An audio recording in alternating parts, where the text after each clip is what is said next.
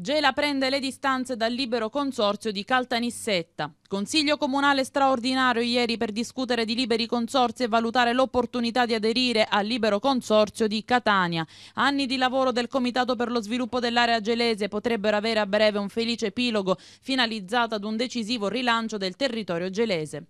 La svolta tanto attesa potrebbe dunque essere ad un passo dalla sua concretizzazione. Il portavoce del Comitato per lo sviluppo dell'area gelese, Filippo Franzone. Bisognava parlarne ovviamente con i consiglieri e capire quale indicazione dava questo Consiglio su una possibile adesione ad altro libero consorzio.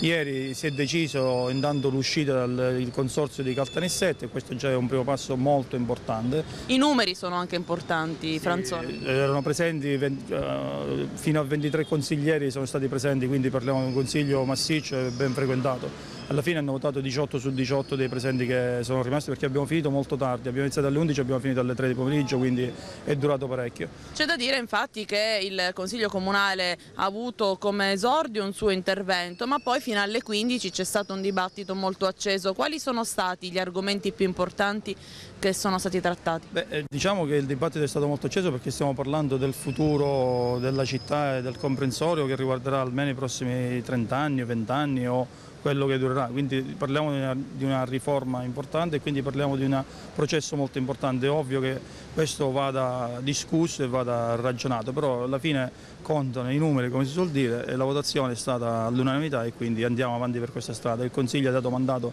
al Sindaco, ai capigruppo e al Comitato di verificare se altri comuni vogliono seguire la nostra iniziativa, ovvero il passaggio ad altro libero consorzio. Questo lo faremo in dieci giorni e al più presto speriamo entro fine mese di poter produrre la delibera di adesione ad altro libero libero consorzio. L'assise civica è l'espressione democratica di un'intera cittadinanza, ritiene che tutti i cittadini gelesi vogliano partecipare e quindi accodarsi al libero consorzio di Catania e diventarne quindi la città più importante dopo naturalmente il capoluogo. Il passaggio in Consiglio Comunale è importante, ma eh, c'è anche il passaggio per la popolazione. Ricordiamoci che dopo la delibera del Consiglio Comunale c'è un referendum da fare e lì i cittadini gelesi tutti dobbiamo veramente valutare cosa vogliamo fare della nostra città e del nostro futuro.